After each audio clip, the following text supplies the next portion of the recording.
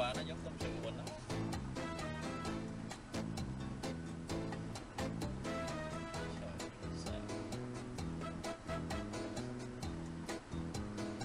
Tháng 10 hay bay vào Cali lại mấy bài hãy sáng tác thâu luôn CD làm ba bài.